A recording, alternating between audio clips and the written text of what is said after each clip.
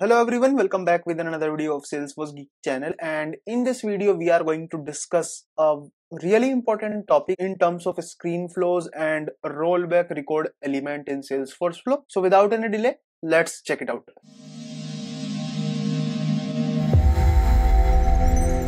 So first of all, what I'm going to do, I'm going to build a screen flow and with the help of that particular screen flow, I'm going to demonstrate you a concept of uh, Salesforce screen flow and uh, rollback record element. So basically this uh, video is around error handling in Salesforce flows and specifically error handling in Salesforce screen flow. Now in order to show you, I am going to build a very normal scenario I am going to take. This is just for the understanding of the concept instead of a business use case, right? So I'm going to click on create button, click on flow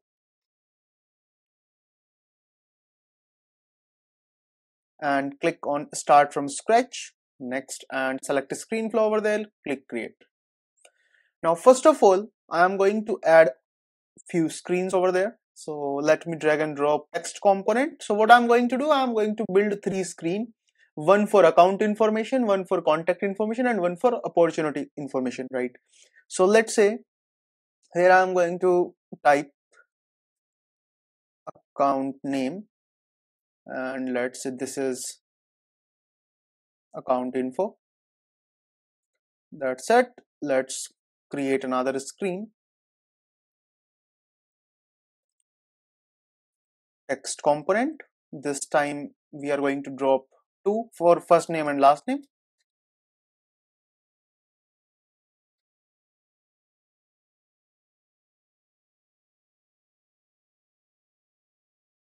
Right now for a screen, I'm going to type, let's say, contact info.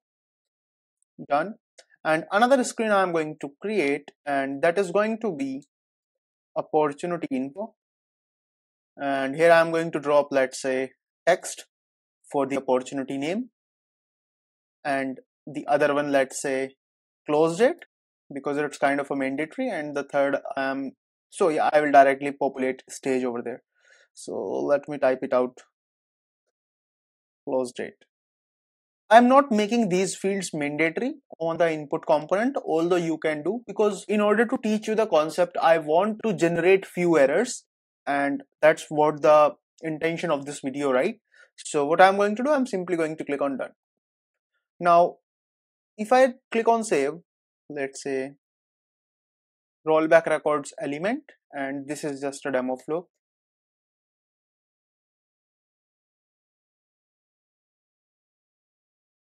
Yeah I saved it. Let me show you the debug screen how it actually looks like. So it's like click on run. Here I will simply provide any account name if I click next. And then it will show me the close date. So I hope you get it. Basically we added three screens. No DML right now. So now what I'm going to do I'm going to add create record elements because uh, when the user input uh, some values over there we need to create account contact and opportunity right? So in the very first approach i am going to use create record element here. Let's say create contact sorry create account right? Here i'm going to select manually. Object would be account. And here you can see name field is uh, it is basically mandatory field. That's why you are seeing account name automatically. So from here i'm going to select account info and account name. Because account info is my screen where all the account information is available or provided by the user. I will also select this manually assign variables and here I will create a new resource. Let's say variable that will basically hold the account ID data type as text and click done. So this account ID will store the newly created account ID in it now, similarly, I am going to create a contact. Create contact again manually. Select contact. Here I am going to add two more field, first name and the third one is account ID, right? Because we are going to relate the contact with the account that we just created. so in the last name simply type last name it will come first name and in the account id the variable that we just created. Let's say account id now in the same way what i'm going to do i'm going to use create record element for create opportunity. Now in this manually i'm going to create opportunity. And similarly here you can see we have three fields. Close date with close date. Name with name and stage let's say i'm going to select prospecting. I provided a default value here. Now click let me click on save. Now let me click on debug. So in the very first i want to show you that everything is working fine. Record are created successfully. But here is one thing is missing and that is account id on the opportunity. So i'm going to provide that as well. That's it. Let me click on save again because I did not activated the flow so we are good. So now let me click on debug again. Now let me click on run.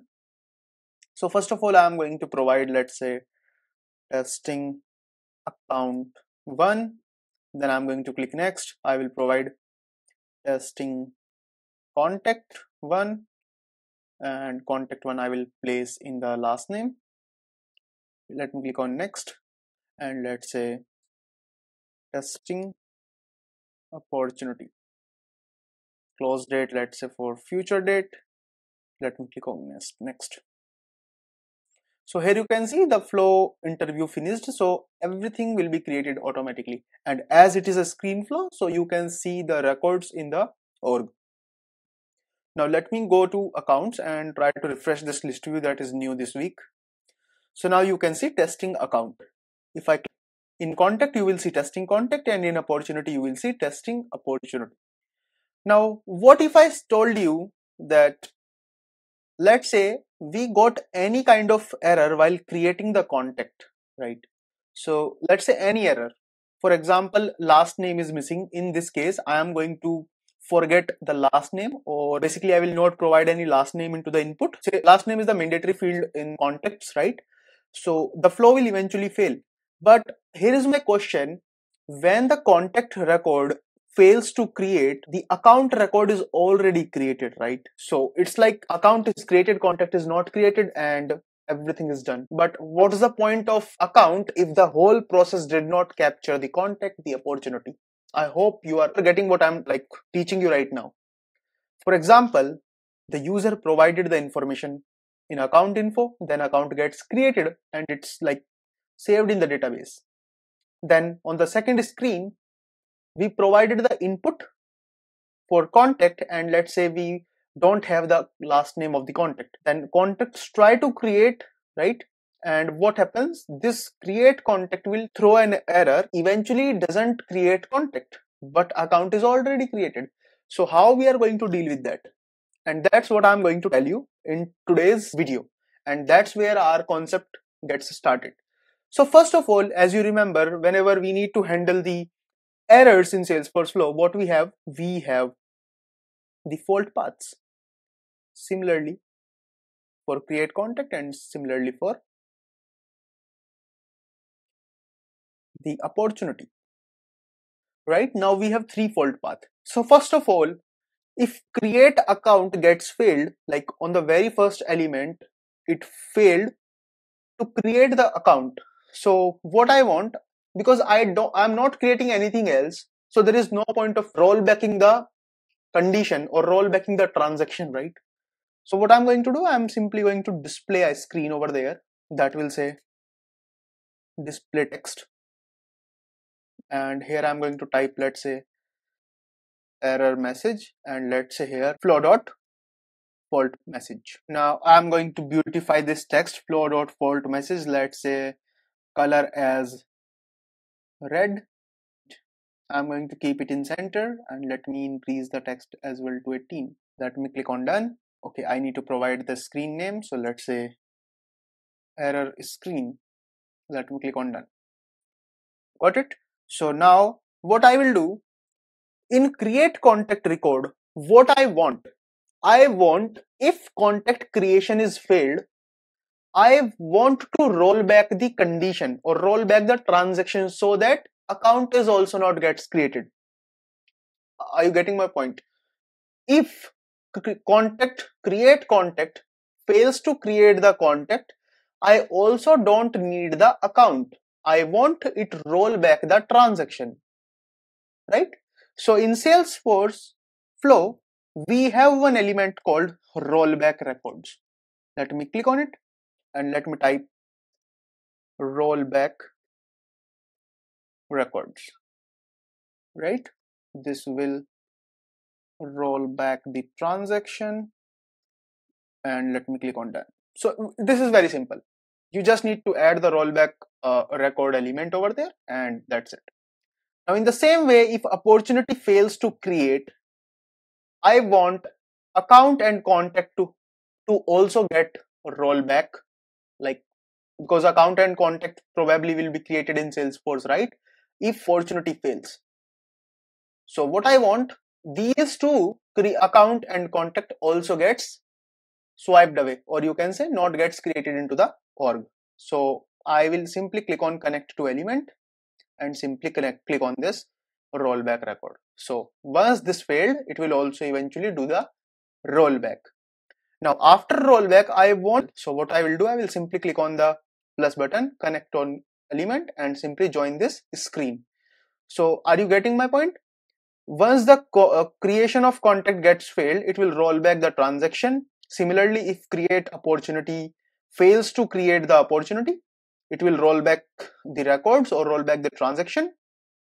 And after it, it will show the error, why it got failed. Now the point is, this flow should work fine. But here is one more concept that I want to teach you. And eventually if what if i told you like this flow will not work? So let me show you with the demo. Let me click on save.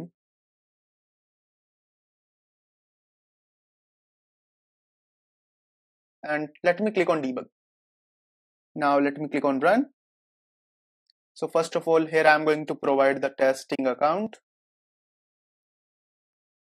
2 and let me click on next so here we have contact first name and last name, right? So what if I only provide the first name? Let's say testing contact two. And I am like, I know this will throw an error and that's why I, I'm not going to provide the last name over there because I want error to be occurred onto my flow and so that I can showcase the demo or showcase or teach you the concept that I want to teach.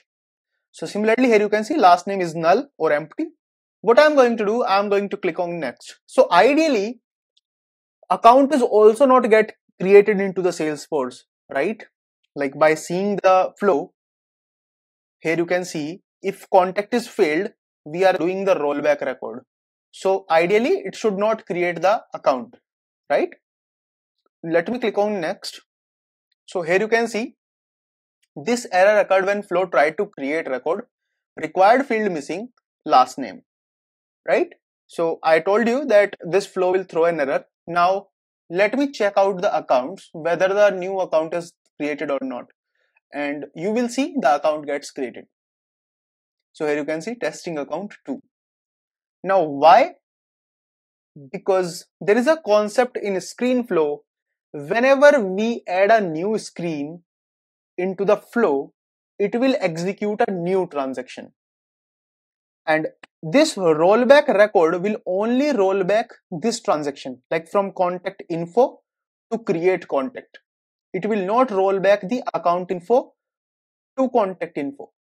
Are you getting my point? Like it will only, so from account info to uh, create contact, right?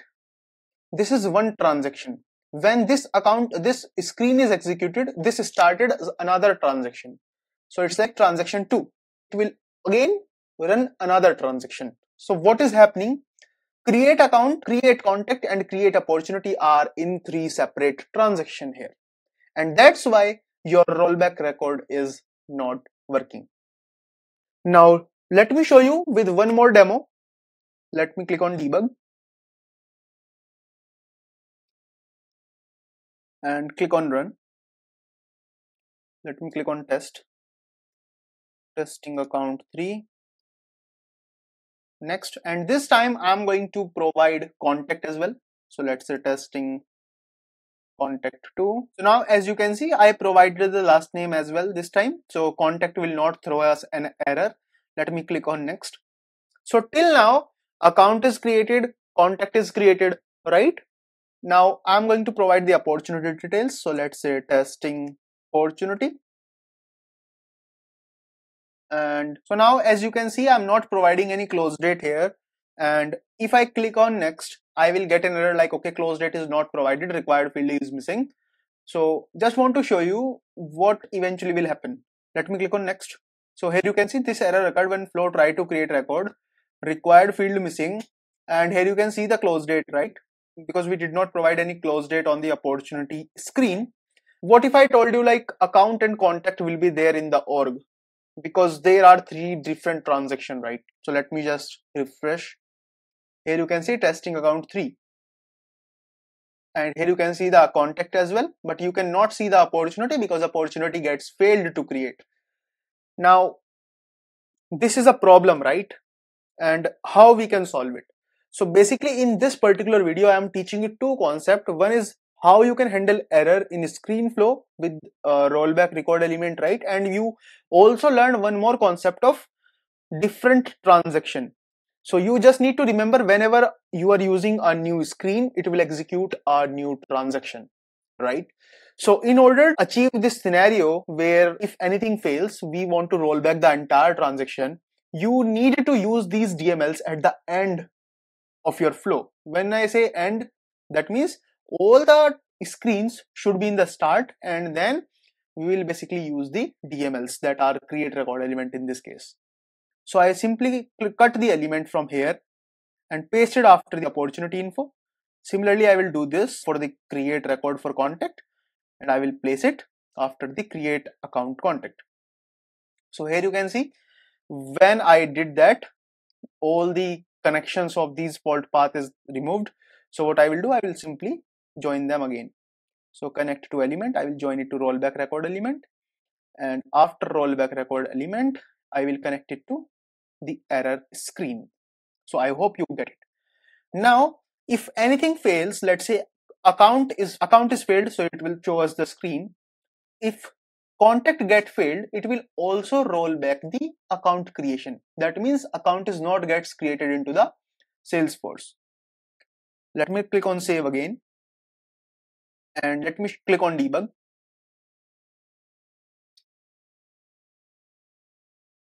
Now let me click on run.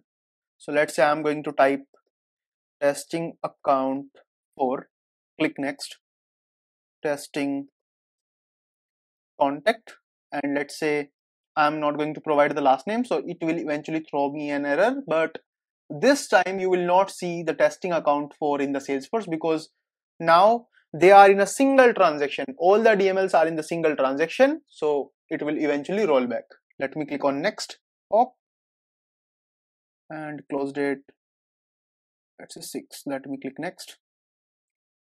So here you can see this error occurred when the flow tried to create record required field missing last name it is working as usual so everything is fine now let me go back uh, to the accounts to see whether the testing account gets created or not. Let me refresh. So here you can see testing for account is not there. And the reason is it gets rolled back. So here you can see error handled create contact element encountered an error because this element has a fault path interview execute the elements in the fault path. So first of all you are seeing the rollback record. So the account that should be created it does not gets created into salesforce because we roll back the entire transaction. So i hope you get my point and this is the concept that i want to teach you. One whenever you are going to use the screen it will execute a new transaction. And how you can use rollback record element in screen flows in a correct way right? So these are the two concepts that this video teach you. So i hope you get some information from this particular tutorial. And if you like this video please hit the subscribe button over our channel. And that's it. Thank you so much. I will see you in another video